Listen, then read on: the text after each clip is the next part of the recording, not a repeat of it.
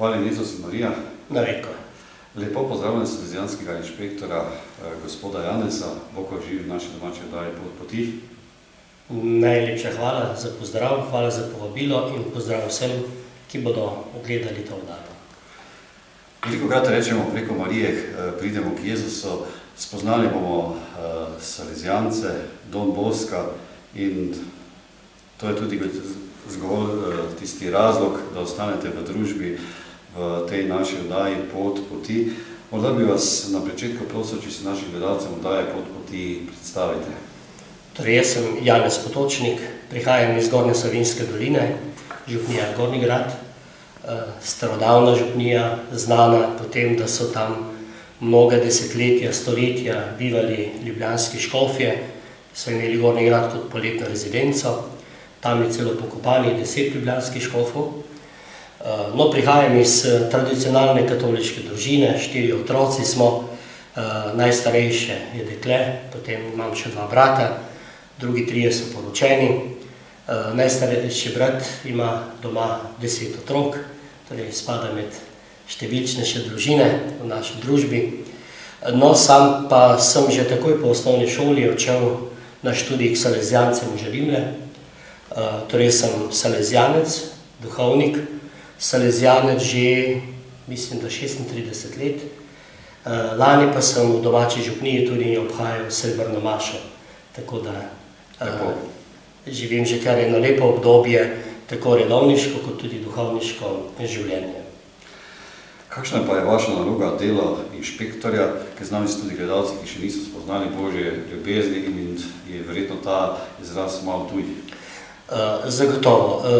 Izraz inšpektor zveni v civilnih krogih celo malo odbijajoče, toda pri nas v salezijanski družbi, zlasti v tem romanskem delu, kamor na neki način se tudi mi delno nagibamo, velja beseda inšpektor za predstojnika redovne skupnosti Salezijancev na področju ene inšpektorije oziroma province. V mnogih deželah se provinca oziroma inšpektorija pravzaprav kar pokriva z državnimi mejami, drugje pa je to nekoliko drugače. Torej, to pomeni, da sem predstojnik redovne skupnosti Salezijancev na področju slovenske salezijanske province, ki obsega vse področje Republike Slovenije, poleg tega pa ima naša provinca tudi nekaj sobratov, ki delujejo v Vojvodini, potem v Črni gori, na Koroškem in na Tržaškem. Morda bi to oddajo pričela, kdo je bil pravzaprav Don Bosco. Tukaj ste, vaše glavno poslanstvo je, da vzgajate mladino, mladino, ne? Da. Salezijanci smo po svoji karizmi na neki način poslani predvsem vzgoji mladine. V devetnajstem stoletju se je v severni Italiji pojavil mlad duhovnik, sveti Janez Bosko, ki je takoj zaslutil, rekel, utrip mladine, potrebe mladih, tedaj je bil namreč čas močne industrijske revolucije in mnogi mladi so s podeželja na neki način hiteli v mesta, kjer so se gradile velike tovarne, hiteli so za kruhom, za zaslužkom, toda tedaj mladi, mladi delavci pravzaprav še niso bili zaščiteni. Delati so morali po dvanajst, štirinajst, šestnajst ur na dan in tisti, ki pač niso ustrezali tem mojstrom, delodajalcem, so se hitro znebili. Mnogi mladi niso dobili dela, zato so pristali zelo hitro tudi v zaporih, preprosto zato, ker so morda tu in tam vzeli kos kruha ali jabolko. In don Bosco je videl, bi rekel, to stisko, v kateri so se znašli številni mladi, in si je dejal, ti mladi, je prav, da dobijo nekoga, ki jih bo imel rad, ki se bo zanje zavzel, in zato je iskal načine, kako bi prišel do teh mladih, kako bi zanje poskrbel. In tako je nastala salezijanska družba, tako pravzaprav iz teh mladih, ki jih je srečal na cesti, dobil tudi prve sodelavce, prve fante, bogoslovce, duhovnike in s temi potem ustanovil novo redovno družbo v času, ki pravzaprav redovnim družbam ni bila naklonjena. Tedaj so zapirali mnoge duhovnike in škofe. Vemo, da je v začetku devetnajstega stoletja bil še papež v izgnanstvu. Vemo, da so v tem obdobju, da je bilo to obdobje po tisti francoski revoluciji, najprej konec osemnajstega stoletja, potem v devetnajstem stoletju, ko so ukinjali številne samostane in redovne skupnosti. Pa vendar prav na, celo na pobudo civilnih oblasti se don Bosco loti ustanavljanja nove družbe, ki je bila na neki način priznana tudi pred civilno družbo, na način pač, da so ti njegovi sovratje bili pred državo kot odgovorni državljani, plačevali davke in tako naprej, pred cerkvijo pa redovniki. Naši gledalci se verjetno tudi spomnijo, kje vse so bile letos relikvije svetega Janeza Boska? v katerih župnijah? Vi ste verjetno tudi zraven. Uh, torej, letos so po Sloveniji od 1. do 17. maja romale domovskove relikvije, torej njegovi posmrtni ostanki uh, v reku, njegovem trupu oziroma kipu je bila shranjena njegova desnica v posebni zapečatini škatli, uh, zato da pač ne pride do reku, uničevanja te svete relikvije. No in te domovskove relikvije romajo že kar nekaj let po celem svetu in sicer v pripravi na 200-letnico domovskovega rojstva, ki jo bomo obhajali leta 2015. In seveda na romanje teh domovskovih relikvij so bile povabljene eh, vse province, vse inšpektorije eh, po vsem svetu, tako da bodo domovskove relikvije do njegove stoletnice obiskali okrog 130 držav, praktično vse inšpektorije, eh, lahko bi rekli skoraj vse tiste kraje, kjer delujejo domovskovi salezijanci. V Sloveniji ja, je bilo tudi to dogajanje zelo lepo, zelo pestro, zelo bogato. Domovske relikvije so romane po vseh slovenskih škofijah, kot sem dejal, od 1. do 17. maja.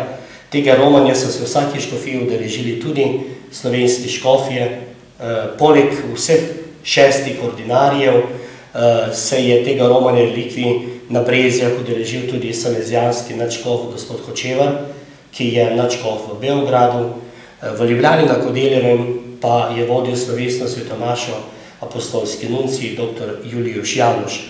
Zakaj govorim o tem? Zato, ker Dombovsko je zelo, zelo ljubil crkv, zelo ljubil papeža, dejal je papeževo želje zame ukaz, In želeli smo, da se rekel, v to romanje tega velikega svetnika na nek način vključijo slovenski ordinariji, po drugi strani pa tudi mi, salezijanci, da na podoben, na podoben način kot Dombosko eh, namestnikom papeža po krajevnih crkvah eh, izrazimo vso svojo hvaležnost, povezanost in eh, ljubezen. Nam predstavite delo salezijancev v Sloveniji in tujini? Torej, Salezijanci so svoje poslanstvo z Domboskom začeli upravljati, rečemo, tam sredi 19. stoletja.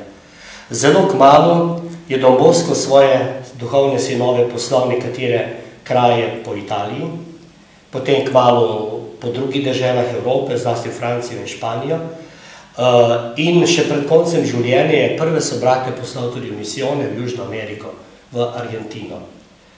Eh, Po njegovi smrti, oziroma bom rekel tako, še za časa njegovega življenja je urednik zgodne danice v Ljubljani, eh, katehet in kanonik Luka Jeran, torej duhovnik Ljubljanske škofije, eh, slišal za nekega duhovnika v Torinu, s imenom Janez Bosko, ki da se zelo uspešno ukvarja z gojem mladine. In si je rekel, tega duhovnika mora videti, mora videti, kaj počne. In uh, ga je obiskal vsaj dvakrat. Uh, bila sta tudi v pisni navezi, ohranjene so celo nekatera pisma. In ko je kanonik tukaj ran videl, kaj Don Bosco v Torinu počne z mladim, ko je videl te velike ustanove, na stotine in tisoče mladih, ki so deležili Don Boscove vzgoje, si je rekel, salezijanci, Don Boscovi duhovni sinovi, morajo pri tudi v Sloveniji, oziroma takrat na Krajinsko, ker še ni bilo formalno ustanovljene Slovenije. No, to za časa domovskega življenja še ni bilo mogoče, tudi ne za časa življenja kanonika Luka Jarana, zato je svojemu namestniku Janezu Osmrekarju, katehetu, eh, dejal približno takole. Stori vse, pa če tudi bo tako težko, kot da bi trva cepili na tebi, da bodo salezijanci prišli tudi na krajsko. In res, katehet Janez Mrekar se je zelo, zelo prizadeval, Eh, da so salezijanci prišli potem v Ljubljano. In sicer eh, je na predlog turinskih predstojnikov, salezijanskih predstojnikov, on pošiljal v Turin prve mlade fante, 90. leta 19. stoletja, in tako so na Rakonik prišli prvi salezijanci, izmed štirih so bili trije že slovenci. To je zelo zanimivo. No in potem so slovenski salezijanci pač začeli svojo dejavnost tukaj na Rakovniku. To delo se je potem širilo na nekatere druge kraje po, pred prvo svetovno, svetovno vojno, potem po prvi svetovni vojni in to obdobje med prvo in drugo svetovno vojno velja pravzaprav za razcvet, rekel, za najbogatejše, najlepše obdobje salezijanskega delovanja v Sloveniji. Tedaj smo se posvečali predvsem vzgoji mladih, zares v tako imenovanih mladinskih domovih, v oratorijih, v poklicnih šolah. Tedaj smo imeli zelo malo, rekel, dela na župnijah, ampak predvsem z mladimi v teh velikih naših ustanovah. Druga svetovna vojna je potem pravzaprav uničila delo salezijancev. Trideset sobratov je bilo med vojno in potem po vojni pobitih. Približno sto salezijancev je emigriralo v tujino, Avstrijo, Italijo, Španijo, Portugalsko, Argentino. Približno sto oziroma drugi sobratje, ki so ostali v domovini, pa so postali župniki na mnogih izpraznjenih slovenskih župnijah, zlasti na področju ljubljanske nadškofije. Tako smo po drugi svetovni vojni salezijanci opravljali predvsem delo župnikov, kaplanov, poleg tega pa imeli tudi številne ljudske misijone in nekateri sobratje so se zelo, zelo zavzeto posvečali katehetskemu delu, pripravi raznih katehetskih učbenikov, pridigarskih osnutkov in podobno. Kje vse pa najdemo salezijance v Sloveniji? Jaz še moram naše gledalce povabiti v Meščanski strežnik RKC, kjer smo tudi bili v Marijinem cvetlišču Repentabor v Italiji in si to lepo oddajo o teh naših zamejcih tudi lahko pogledajo. Torej salezijanci danes na Slovenskem delujemo, takole bom rekel, je po svoje zelo zanimivo. Delujemo v desetih škofijah na področju petih držav, seveda večinoma na področju države Slovenije, poleg tega pa, kot sem že prej ob začetku dejal, ena skupnost štirih oziroma petih sobratov v Mužlju, Vojvodini, za Madžare v madžarski župniji, kjer imamo tudi velik internat s sedemdesetimi fanti. Potem delujemo v Črni gori, v Podgorici, v glavnem mestu Črne gore. Tam imamo tudi neko, bom rekel, posebno šolo, posebne tečaje. Potem na Koroškem delujem, smo dolga leta po vojni delovali predvsem v Mohorjevi dijaških domovih, potem v Slovenski gimnaziji v Celovcu, danes še vedno dva sobrata poučujeta verouk v teh slovenskih šolah na Koroškem, poleg tega pa imamo župnijo še v Primožu in eden od sobratov se zelo, zelo zavzema na področju misijonskega delovanja. Delujemo torej tudi na Tržaškem, na občinah, tam opravljamo več župnij, tudi slovensko-italijansko župnijo na občinah, pa župnijo Repentabor, ki je bila lani razglašena za svetišče, romarsko svetišče ob petstoletnici. Tam smo pred leti veliko delovali tudi na področju poučevanja verouka v zamejskih šolah, danes, ker so sobratje v glavnem že v pokoju, pa se posvečajo predvsem župnijskemu pastoralnemu delu. V, na področju same Slovenije pa poleg tega, da delujemo s temi deželami, ki sem že naštel, skupaj s Slovenijo, v približno petintridesetih župnijah. Torej to je neko še vedno temeljno delo oziroma poslanstvo, v katerega je vključeno največ slovenskih salezijancev. Poleg tega dela pa smo zadnja desetletja, zlasti pa po osamosvojitvi Slovenije, razvili še nekatere druge oblike dela. Na primer v Želimnem imamo prvo privatno, zasebno katoliško gimnazijo, ki obiskuje tristo učencev, od tega jih je kar dvesto v dijaškem domu. Prihajajo iz vseh koncev Slovenije. Zanimivo je, da so med njimi tudi kar številni dijaki slovenskih družin, ki so se vrnile iz Argentine in bivajo v Sloveniji sedaj. Potem imamo še nekatere druge ustanove, na primer Na Rakovniku smo pred leti razvili privatno glasbeno šolo, ki obiskuje 200 učencev. Potem v celju imamo tako imenovani program PUM, projektno učenje za mlade, uh, s katerim pomagamo mladim, ki niso dokončali uh, srednji šol ali fakultet ali osnovni šol in jim tako pomagamo, da upravijo še zadnje izpite, uh, naredijo diplome in podobno in se tako rekel, usposobijo, da pridejo lažje do zaposlitve. Potem v Vržeju smo pred leti začeli razvijati tako imenovani center domače in umetnostne obrti.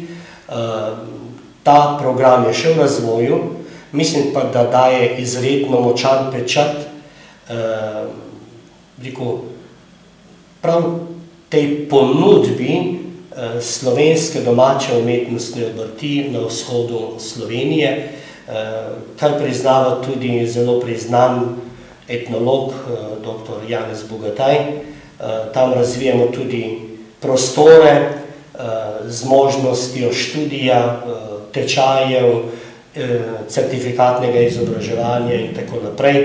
Poleg pač druge ponudbe, ki jo tudi nudi naša ustanova v Režeju, penzion, možnost duhovnih vaj in drugih oblik srečanj. Eh, tukaj v Ljubljani na Kodeljevem razvijamo že več kot 15 let tako imenovani eh, program Skala mladinska ulična vzgoja, ker se naši sobrati skupaj z zaposlenimi in prostovoljci zauzemajo predvsem za mlade na ulici, na področju uh, Ljubljane v Fužinah, uh, kjer so pravzaprav priseljenci z nekdanjih jugoslovanskih republik, to pomeni, da delajo predvsem v re, rečemo nekatoliškem okolju, pa vendar to delo oziroma po tem delu smo tudi salezijanci v mestu Ljubljana dokaj znani.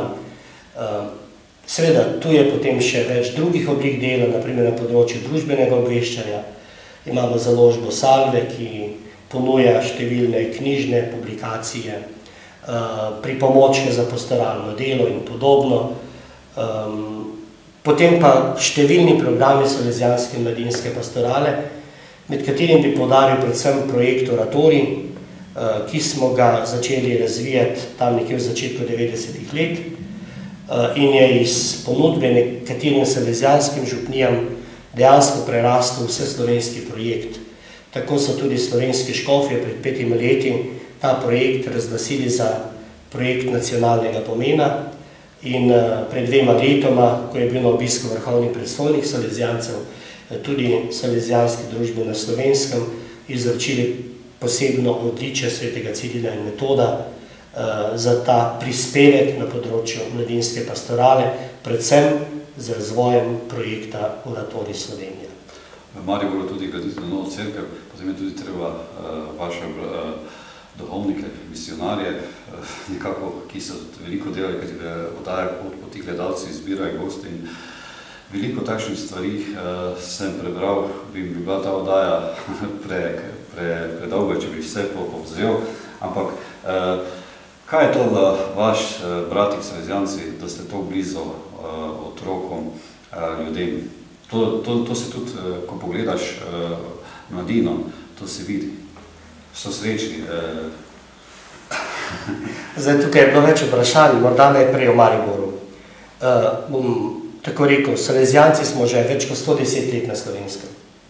Že Trikrat smo želeli zgraditi crkvo svetega Jana Zaboska, pa nam doslej ni uspelo, zaradi različnih razlogov, ker so imele prednost kakšne druge eh, crkve oziroma svetniki um, in eh, ob stoletnici Zaboskove smrti leta 1988 smo prevzeli župnijo eh, v Mariboru na eh, področju pod Pohorjem uh, in uh, Tedaj smo sklenili, da mora tam ostati tudi crkva svetega Jana Zaboska.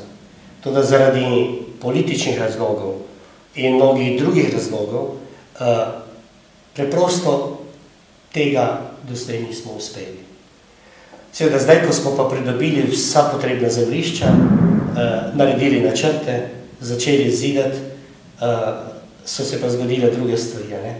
Da se pojavi zelo huda gospodarska in finančna kriza v vsej Evropi in tudi v Sloveniji, da se je zgodil ta Maribor z vsem, kar se pač dogaja okrog škofije in tako naprej, da ima, da tako rečem, probleme tudi naša vrhovna hiša, da so tudi dobrotniki, rekel, v stanju, ko vedno težje dajejo kot dar.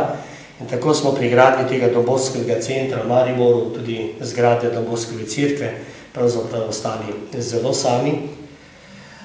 In ne vemo pravzaprav kako naprej, pa vendar pred nami je 200-letnica Dobovskega rojstva in gojim vsaj jaz veliko želje in veliko upanje, da bi uspeli vsaj nekaj od tega dokončati.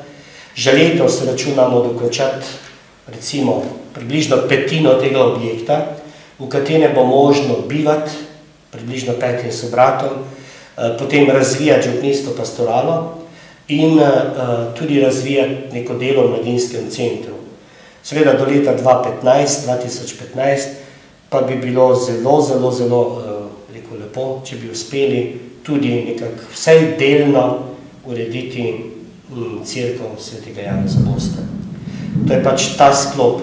Tudi ko uh, smo romali z domovskimi relikvijami, uh, ko sem bil v Mariboru in smo bili na lokaciji tega gradbišča skupaj z domovskom, um, ja, je bila to v meni ena velika, kako naj rečem, prošnja, želja, hrepenenje, da bi tudi domovsko še od zgoraj kaj storil za to, da bi uh, uspeli v Mariboru, za katerega lahko rečem, da je eno od področji naše države Slovenije med bolj preizkušanimi eh, področji na, poda, na področju uh, zaposlovanja, brezposobnosti, mladih, ki ne vidijo cilja, smisla življenja in tako naprej.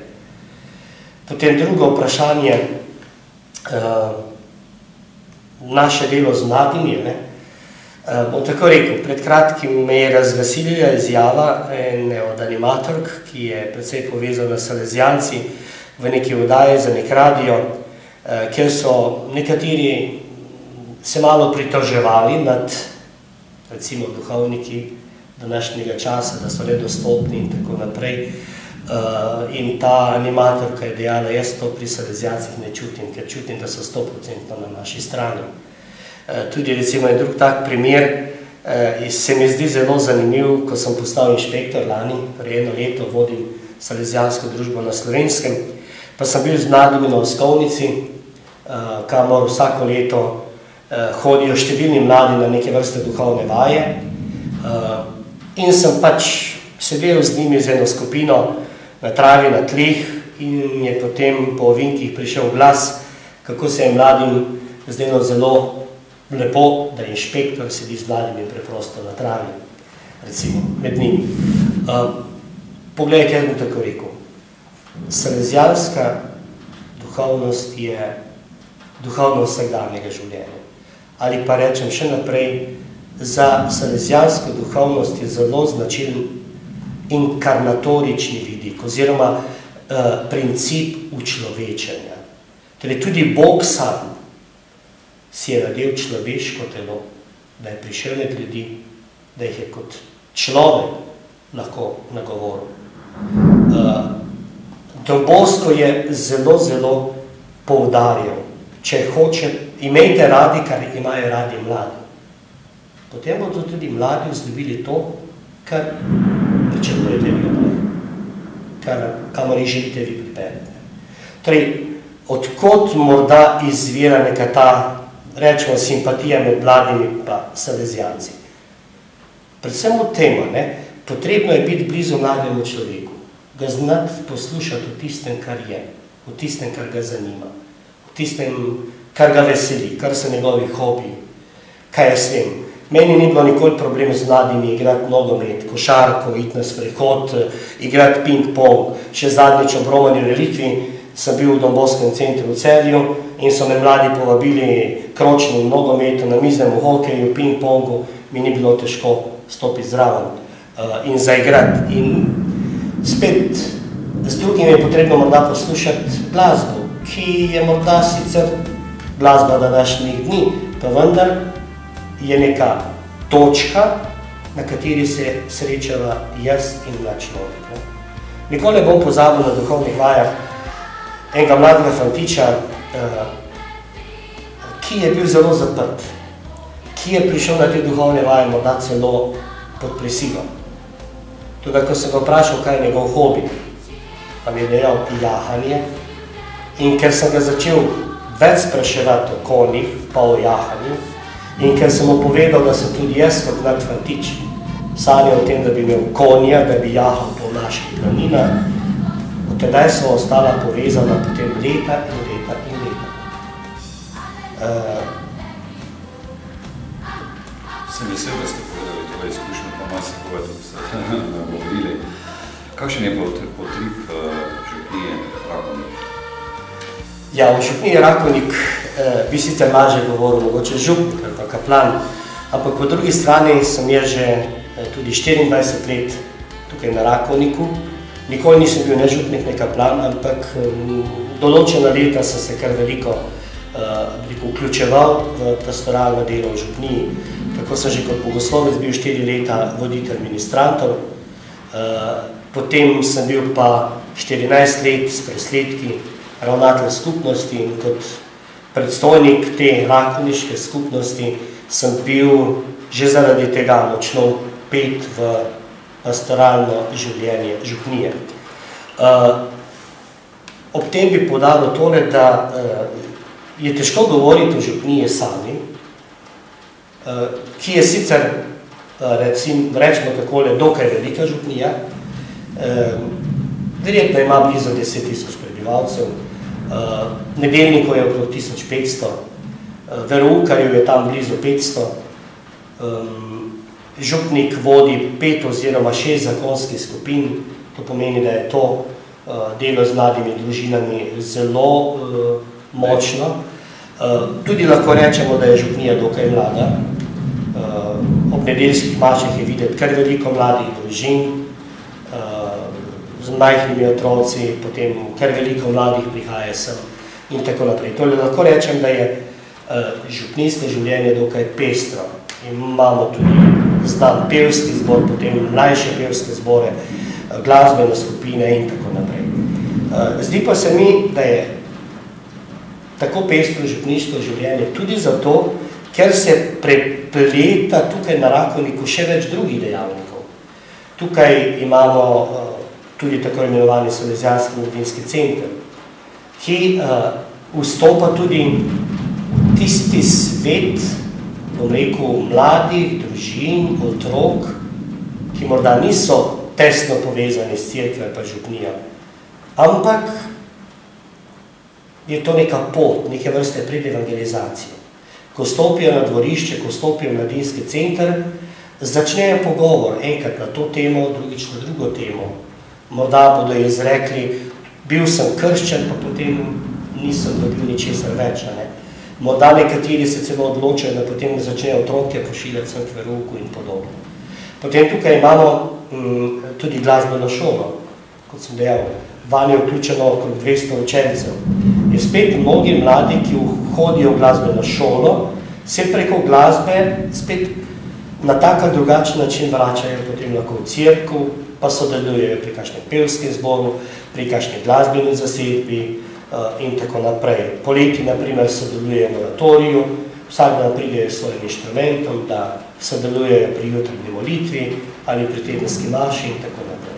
In seveda potem je tukaj še tretji močan element, uh, vedeti moramo, da je Rakovnik tudi, ali pa da je bil Rakovnik najprej romansko središče, da je tukaj Cirka Marije Pomočnice.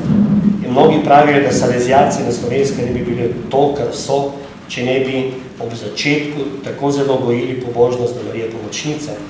In torej Rakovnik uh, je še vedno, čeprav je zdaj to del mesta, še vedno znana Marina Ronovska Božja pot, kar se morda zdaj v zadnjih letih uh, kaže uh, ne toliko morda za kakve velike romanske shode, ampak bolj ob praznikih, zlasti za vse svete Božič pa veliko noč, ko dajemo duhovniki tukaj ponudbo spovedi.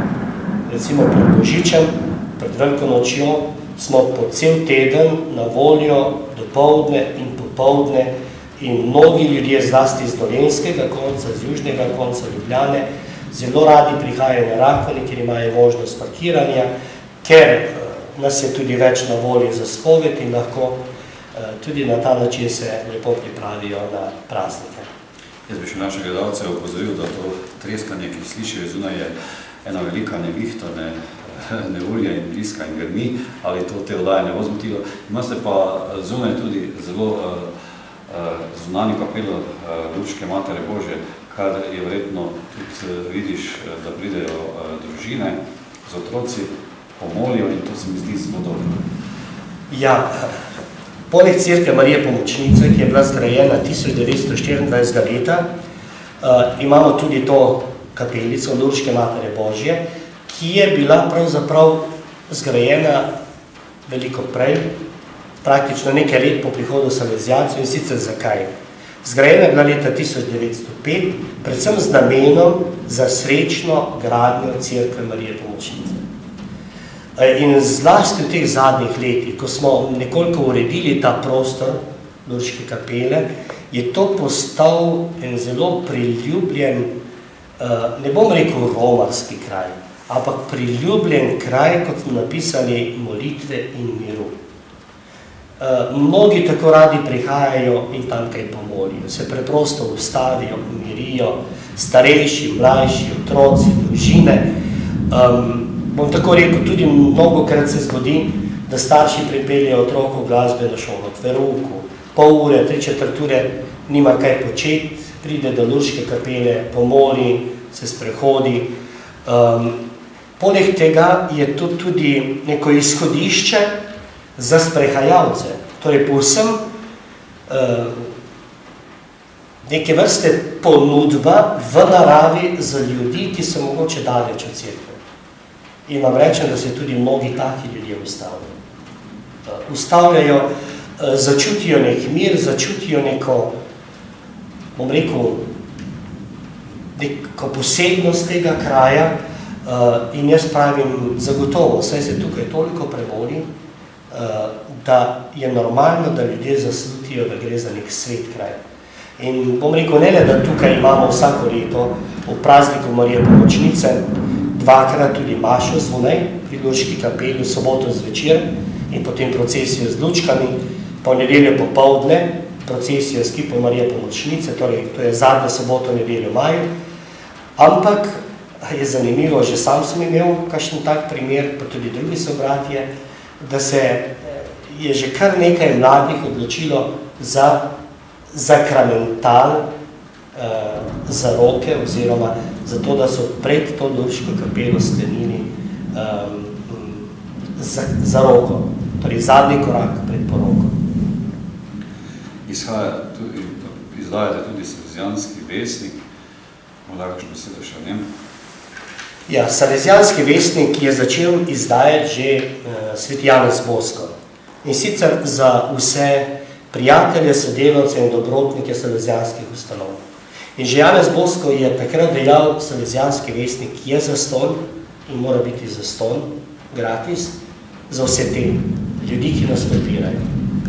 In uh, tako je še danes. Salezijanski vesnik izdajamo uh, gratis, oziroma ljudje ga dobijo zaston, vzdržuje pa se s prostovoljnimi prispevki. Že k malu, bom rekel nekaj mesecev, uh, po prihodu Salezijancev na Slovensko so tudi tukaj takoj začeli izdajati Salezijanski vestnik, ki je najprej imel kakšno drugo ime, Salezijanska poročila in podobno, uh, po vojni potem tudi izvod Marije Pomočnice, zdaj pa ga zopet izdajamo pod imenom Salezijanski vestnik. Tudi sam sem bil šest let, sedem let urednik Salezijanskega vestnika, uh, zdaj pa ga ureja inšpektorijalni tajnik in uh, mislim, da še vedno dosega kar lep krok ljudi, eh, s kar lepo naklado in če kdo želi, ga lahko dobi. Lepo Bogu, hvala. Kdo so pa Don Boskovi prostovoljke? Don Boskove prostovoljke so nastale eh, po Domboskovi smrti. In sicer za časa, uh, ko je vrhov, bil vrhovni predstavnik Salezijancev uh, Filip Rinaldi, ki je zdaj tudi blažen. Uh, in sicer Domboskove prostovoljke bi preprosto rekli, so posvečene osebe, posvečene ženske, to pomeni ženske za obljubami čistosti, oboštva in pokoščine, ki živijo sredi sveta, ampak tajno. Torej, da drugi ljudje ne vedo, da so posvečene. Uh, same pravijo, da niso redovnice, v bistvu pa bi lahko rekli, da so redovnice, brez kakšne posebne oblike, uh, brez skupnega življenja, ampak imajo za obljube in živijo sredi sveta, želijo biti kot luč v svetu, kot kvas v testu, torej, da njihovo življenje, njihov zgled, uh, rekel, na neformalen način, na neviden način deluje v svetu. To se mi zdi zelo dobro. Ja, zlasti v času komunizma je bila to čudovita oblika, Pa tudi danes se mi zdi, da bi to bil, eh, da, bi to, da je to zelo privlačna oblika za marsikako osebo, ki sebi čuti duhovni poklic, pa eh, čuti, da ga ne more živeti neki skupnosti, eh, da se noče na tak način izpostavljati, ampak preprosto živi, želi živeti v svetu, pričevati za Kristusa, pričevati za Božjo ljubezen, In seveda dobovske prostovoljke eh, eh, živijo ta poklic v svetu s posebno pozornostjo, s posebno ljubeznijo do mladih. Tukaj imate tudi sestre hčere Marije Pomočnice. Sestre hčere Marije Pomočnice, po domače bi jim lahko rekli tudi Salezijanke, tudi same slišijo na to ime. Uh, tudi Salezijanke je ustanovil Don Bosko, ko je zaslutil, da mora narediti nekaj tudi za dekleta.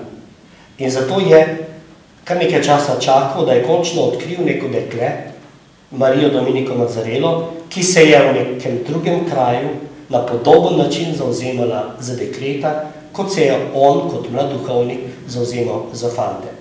To dekle je že tedaj imelo neke obljube, okrog sebe je imela nekaj rekel, prijateljic, ki so uh, podobno čutile in želele podobno delati kaj dobrega za dekleta v njihovem kraju. In eh, ko je Domosko odkril to dekle, Marijo Dominiko Mazzarelo, uh, je to dekle uh, uskliknilo, Domosko je svetnik, jaz to čutim. In uh, torej, kmalo je potem prišlo do tega, da so spremenili ime, da so naredile formalno za obljube in zelo kmalo je tudi ta Marija Dominika postala vrhovna predstavnica teh sester. Na začetku, na začetku Eh, je bil glavni predstojnik eh, še vedno Dombosko skozi zgodovino in zaradi eh, rekel, teh pravil crkvenega prava, pa so se potem sestre, hčere Marije pomočnice, osamosvojile imajo rekel, lastno uh, hierarhično strukturo. Pri nas delujejo uh, s tem, da uh, se imenuje njihova provinca Slovensko-Hrvaška inšpektorija Zakaj? Zato, ker imajo tudi neke skupnosti na Hrvaškem. Hm, lepo. Potem še tudi uh, mas, uh, maste Združenje Marije Pomočnice. Kakšno združenje to je? Uh, za Združenje Marije Pomočnice bi lahko rekli, da ga je tudi ustanovil svet Janez Bosko in sicer v času, ko se je gradilo svetišče Marije Pomočnice v Turinu. Um, tu gre pa za laično združenje, v katerega se lahko vključi rečemo, kdorkoli, ne, od poročenih eh, vdov, starelih, mladih, zakoncev, družin, eh, ne nazadnje tudi do uh, drugih duhovnikov, škofijskih in tako naprej. Temeljni vidik preko te pobožnosti pa je uh, češčenje uh, Device Marije, zlasti pod imenom Marije pomočnice kristijanov in češčenje presvetega zakramenta. Torej pobožnost do Euharistije in Marije. Zelo znane so domovskove sanje v dveh stebrih, eh, med katere pripelje ladja crkve, ki jo vodi papež. Prej je ta ladja sredi razburkanega morja, napadajo najrazličnejše druge ladje, sovražne zveri, pošasti, vihar, potem pa je rečeno pastirju v belem, možu v belem, papežu, naj crkv eh, usmeri med ta dva stebra, na enem stebru večjem je bila hostija, torej simbol Euharistije, na drugem manjšem stebru pa je bil Marijen monogram, torej pobožnost do Marije. Kaj to pomeni? Kako je potrebno za rešitev crkve in tudi za rešitev slehernega, rečemo, kristijana, ta pobožnost do Euharistije in Marije. Sedaj se bodo vred naši gledalci vprašali, kako predvsem tisti mlajši, kako lahko mladi fanta pa dekle vstopi v red Salezijanca ali... Ja, tako, poti v duhovni poklic uh, so, so zelo različne. Koliko je ljudi, toliko je različnih poti. Ne? Jaz ne prihajam iz salezijanskega okolja, ne prihajam iz salezijanske župnije, nisem bil nikoli kakšen animator ali nekaj podobnega, ampak po nekih čudnih poteh, zanimivih poteh, sem prišel do uh, Želimelj, do duhovnih vaj v Želimljem, tam sem se dobro počutil, domače počutil, sem rekel, to je to. In sem se odločil, da gre Želimlje, postal sem lezijant, še preden sem bil star 18 let. Uh, kako ne, naj se mlad človek odloči za to pot uh, salezijanskega poklica pri salezijancih ali sestrah? Preprosto je treba navezati nek stik.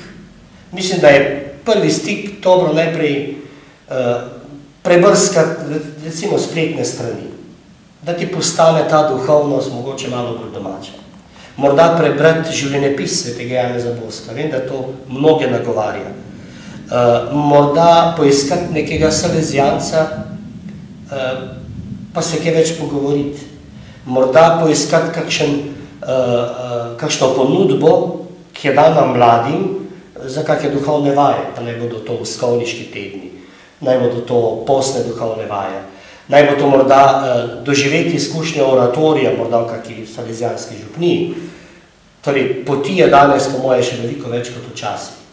Je pa res, da tisti, ki nosi v sebi poklic, danes raje v tem toliko časa moči, eh, da se pride malo bolj na jasno. Eh, zato pa je potrebno še danes, še vedno, po moje, veliko molitve, eh, veliko poguma, ampak ne se bata, ker Bog ne razočara, Bog ne razočara in, in Eh, mislim, da se njim treba česa bat. Eh, tudi ne na zadnje različnih odpovedi, ki so s tem povezane, eh, bom tako rekel, tudi nek fant, ki se odloči za poroko, se odpove tolikim dekletom, pa se odloči za eno. Ne? In tudi v duhovnem poklicu je tako, da se res odpovemo nekaterim dobrinam tega sveta. Tudi Bog bogato nagrajuje. Ste lepo povedali. Predvsem me pa zanima, eh, da se nekdo odloči za selezijanco, eh, fant, kako poteka ja. novicijat in... Eh, Aha. No, glede same poklicne poti je pa tako. Ko se nekdo odloči, da bi rad prišel, naprimer, k selezijancem, naj najde pot, naj stopi v stik s kakšnim selezijancem, ki ga bo usmeril recimo na Rakoni, k nekomu, k sobratu recimo Petru Pučniku ali Marko Košniku ali meni, da se pogovorimo. Potem druga stvar, če recimo še ni končana šola, jo je možno končevati tudi tukaj, recimo v zraku, tukaj z Ljubljane, ali v domačem kraju, pa se potem večkrat srečamo. Potem, ko nekdo stopi, recimo, ko je že končal srednje šolo, lahko pride na Rakovnik, tukaj preživi recimo leto ali dve, da se še bolj seznani z našim življenjem, z našo duhovnostjo, z zgodovino, z Domboskom in če vidi, da mu to življenje odgovarja, Eh, napiše prošnjo za bolj intenzivno pripravo eh, in po približno pol leta eh, lahko vstopi v novicijat. Novicijat pa je neke vrste čas za roke, čas intenzivne priprave na redovniško življenje. Mi imamo novicijat sedaj v Italiji, to pomeni, da se je treba prednjem človek začne novicijat tudi malo naučiti italijanščine, Eh, pa tudi mislim, da to za večino ni problem, ker z enim tečajem tukaj in z mesečnim tečajem v Italiji je mlad človek hitro usposobljen za to, da lahko gre v novicijat. Po novicijatu, če ni kakih problemov, naredi kandidat prve za obljube, ki lahko trajajo leto, dve ali tri, potem se mogoče vrne nazaj za kakšno leto ali dve, da opravi na teološki fakulteti študij filozofije, potem je pa tu odvisno, ali se nekdo odloči za poklic salezijanca duhovnika ali za poklic salezijanca pomočnika oziroma brata. Ehm, ker potem lahko gre tudi študij eh, po različnih potih. Eh, kandidati za salezijance duhovnike pač potem opravijo študij teologije eh, ali v Ljubljani, večino pa zdaj odhajajo v Turin. Kandidati za salezijance brate pa se po študiju filozofije lahko posvetijo kakemu drugemu študiju, recimo, kaj jaz vem, eden od mlajših sobratov je upravljal študij bibliotekarstva in etnologije, ko se konča študij teologije, uh, oziroma po približno šestih letih začasnih zaobljub, uh, naredi mlad kandidat oziroma salezijanec večne zaobljube in po večnih zaobljubah je lahko posvečeno diakona in potem v duhovnika. Seveda moramo pozoriti na eno stvar, salezijanci imamo v svojem uh, vzgojnem procesu oziroma na tej poti do duhovniškega poklica oziroma večnih zaobljub za brate pomočnike, uh, tudi tako imenovano obdobje tirocinija oziroma vzgojne prakse, ki traja običajno dve leti. To pomeni, da v času študija, oziroma da prekinemo študij in gre mlad salezijanec za dve leti nekam na eno prakso. Naprimer, želimlje za vzgojitelja v dijaški dom ali naprimer nek mladinski center za pomoč pri vodenju mladinskega centra ali kaj podobnega. Katere eh, brate salezijane, salezijance, eh, duhovnike, ki so bili v misijoni, bi pa posebej eh, omenili, eh, predvsem ko sem prihajal v vašo stavbo, je bil uh, en duhovnik, moram se spomniti. Ja, torej, uh, lahko bi rekli takole, da je salezijanska družba sicer ni tako imenovana misijonska družba, pa vendar imamo redovniki salezijanci verjetno največ naših sobratov v misijonih adgentes, to pomeni v tretjem svetu. Tudi slovenski salezijanci so zlasti med obema vojnama, tam po letu 30, mnogi odhajali v misijone. Zlasti Kitajska, Oceanija pa uh, Južna Amerika. Uh, sprašujete po imenih. Uh, torej, uh, sobrat, ki ga omenjate, uh, Andrej Majcen, velik misionar, je tudi božji služabnik, torej zanj smo pred leti začeli postopek za beatifikacijo. Torej, gospod Andrej Majcen je bil na Rakovniku deset let, približno v tem obdobju začetne formacije bogoslovje kot mlad duhovnik. Tukaj je vodil tudi poklicne šole. Potem, ker so bile pa poklicne šole na Rakovniku strani države ukinjene, je rekel, kaj pa zdaj, gremo v misijone. Zelo ga je nagovarjala podoba misionarja Kereca, ki je bil tudi salezijanec in je bil v misijonih na Kitajskem uh, in hkrati podoba dveh misionarjev učencev, Alojzija Versilija in Kalista Karavarja, salezijancev, ki so nekaj let prednji on učel misijone, na Kitajskem uh, bili mučeni do smrti.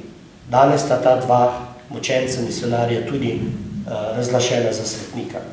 Uh, torej, ta podoba svetniških mučencev, misionarjev je zelo spodbudila naše mlade duhovnike, tam med obema vojnama, da so, lahko bi rekli, kar trumova odhajali v misijone. In med njimi je bil tudi gospod Majcen, ki je bil 22 let na Kitajskem, 22 let v Vietnamu in v tem obdobju trikrat izgnan strani komunistov. Najprej iz Kitajske, potem iz severnega Vietnama in nazadnje iz južnega Vietnama. Bi pa omenil tole, ne? njegovo misijonsko delo je bilo zelo, zelo rodovitno. Zlasti v zadnjem obdobju 20 let v Južnem Vietnamu. Ko je prišel v Vietnam, je bil edini salezijanec. Ko je po 22 letih odhajal, jih je bilo 130. On ni bil predstojnik vseh vietnamskih salezijancev, bil je magistr, to pomeni učitelj uh, novih salezijancev. Deset let je deset skupin pripravljal na prve zaobljube, da postanejo salezijanci. In ko je bil potem on izgnan, je bil, rekel, po izkušnji tedanje Jugoslavije tako moder, da je te svoje sobrate pred odhodom razporedil in jih poslal po 3, 4, 5 po župnijah. In na ta način so tudi salezijanci v Južnem Vietnamu preživeli vsa ta, rekel, preganjanja in je danes to provinca na svetu, ki ima največ duhovnih poklicev uh, v salezijanski družbi. In mnogi med njimi danes odhajajo v misijone. Tako imamo naprimer tudi v Evropi že, mislim, da vsaj deset vietnamskih sobratov salezijancev v sosednji, uh, na sosednji Mačarski uh, so tudi štiri ali pet uh, sobratje iz Vietnama. Morda pa še moram na koncu vprašati, kako pa vidite tole mladino v Sloveniji, veliko krat jo kritiziramo, govorimo takšno in takšno, ampak jaz mislim, da smo vzrok starejši, ki bi morali biti tisti, ki bi bili vzor. No, jaz bi dodal morda še prejšnje vprašanje, še kakšno ime, ker se mi zdi neprav, da ga ne bi omenili. V Indiji so bili tudi velike naši misionarji, zlasti gospod Pavel Bernik, ki je bil vzgojitelj številnih duhovnih poklicev, tudi duhovni voditelj številnih današnjih škofov. Poleg njega še Ludvig Zabret, Ivan Kešpel. Potem zlasti pred nekaj tedni umrli duhovnik Ernest Aksida v Južni Ameriki, v Braziliji, v Mato Grosso, ki je ustanovil Deško mesto. In seveda potem bi lahko še naštevali, morda Joško Kramer, brat pomočnik, ki je deloval celo še med ljudožerci na otoku Papua Nova Gvineja in tako. Dobro, glede mladih, kaj mislimo o mladih danes? Mladi danes niso nič drugačni, kot so bili pred sto leti, pred tisoč leti, pred deset tisoč leti. Uh, Sveda, okoliščine se spreminjajo. In mladi so na nek način vedno odraz ali pa ogledalo svojih staršev in vzgojiteljev. Res pa je, da danes živijo mladi verjetno v veliko težjih okoliščinah življenja kot mladi pred 20, 50 ali 100 leti. Da je revščina in oboštvo mladih danes, da ima veliko več obrazov, kot je imela revščina mladih recimo v času Janeza Boska. Eh, in, zato potrebujejo mladi danes, tako kot včasih, ljudi, ki so jim ob strani, ki jih razumejo, ki jim grejo naproti, ki se ne spotikajo ob njihovih napakah, ob njihovih grehih, ob njihovih neumnostih.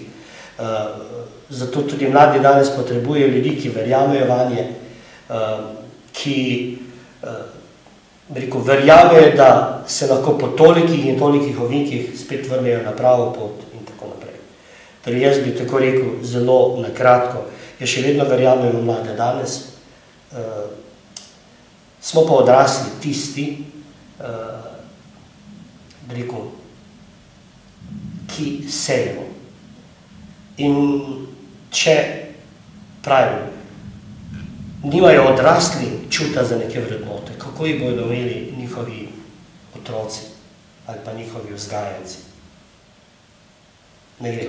Ampak tudi ti, ne, eh, ti mladi, če bodo v življenju srečali nekoga, ki jih vidi drugače, ki ima zanje čas, ki, za katere vedo, da jih sprijema, eh, se tudi v takih mladih lahko odpira novo obzorje, nova pot, nova možnost. To ste zelo lepo povedali.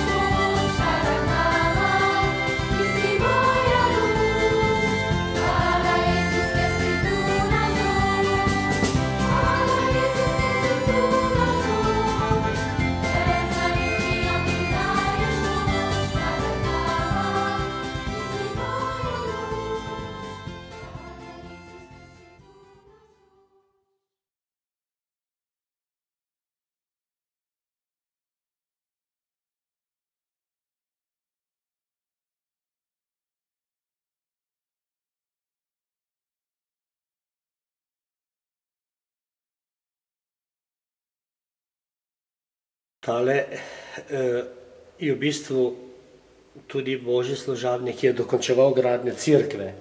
Potem med vsemi, ki so bili mučeni, smo izbrali tele štiri, ki so v tem spisku slovenskih mučencev, za katere teče postopek. Potem seveda ta dva sta bila pa vrhovni predstavnik, drugi pa četrti, eh, oziroma prvi pa tretji domovsko naslednik, ki sta bila tudi na Rakovniku. Pa sta oba blažena že.